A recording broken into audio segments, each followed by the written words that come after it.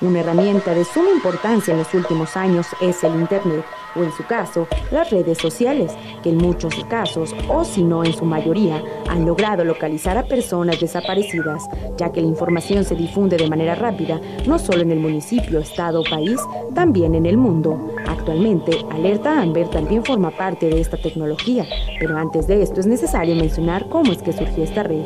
La idea de un sistema de advertencia temprana se creó en 1996 en memoria de Amber Hagerman, una niña de 9 años quien fue secuestrada mientras montaba bicicleta en Arlington, Texas. La niña fue brutalmente asesinada.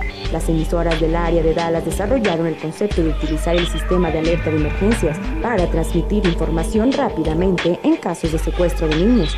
Dichas emisoras comunicaron el concepto a las autoridades policíacas y así nació el primer programa de alerta Amber en Estados Unidos. El concepto en la cual se basa este programa es sencillo. Cuando la policía notifique a los medios de comunicación el secuestro de un niño, el público televidente y radio escucha recibirá una notificación a través de avisos emitidos con toda la información que esté disponible para que éste proporcione los ojos y oídos adicionales que aumentan la probabilidad de captura del secuestrador del niño antes de que hayan transcurrido las primeras tres horas críticas.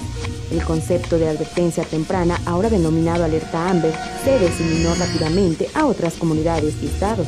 Esta guía es el producto de extensas horas de investigación, el análisis de correspondencia relacionada al programa y a las conversaciones que se llevaron a cabo con los coordinadores de alerta Amber estatales, regionales y locales, quienes junto con los medios de comunicación asociados al programa compartieron abiertamente sus experiencias y el contenido de sus planes para el beneficio del programa a nivel nacional. La guía es una complicación del conocimiento y la sabiduría de los medios de comunicación y de los coordinadores de los programas AMBER, que juntos constituyen la primera línea de acción de estos programas y entienden que no hay dos comunidades ni programas de alerta AMBER idénticos. No obstante, las metas son las mismas, crear una red nacional de planes de alerta que trabajen juntos por el bienestar de los niños.